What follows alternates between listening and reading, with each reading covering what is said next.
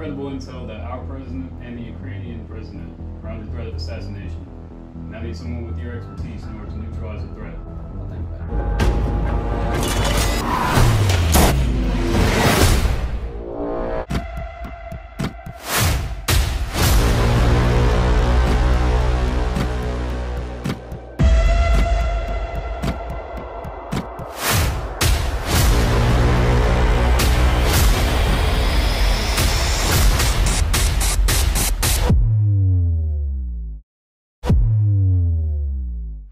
I'm gonna get her back.